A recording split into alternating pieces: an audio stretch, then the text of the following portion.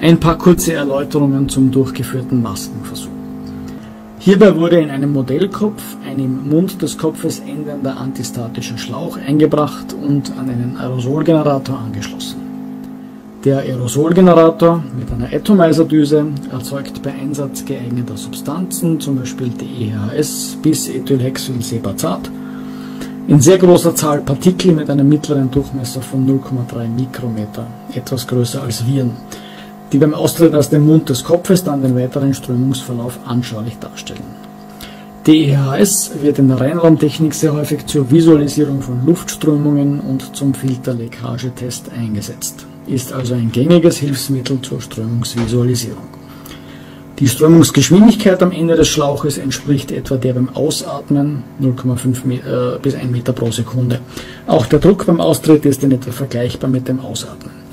Deutlich kann man erkennen, dass bei Einsatz eines Mund- und Nasenschutzes, handelsübliche medizinische Maske, zwar die Richtung der Strömung deutlich diversifiziert wird, die Reichweite jedoch insbesondere bei Vorhandensein externer Luftströmungen nicht geringer ist.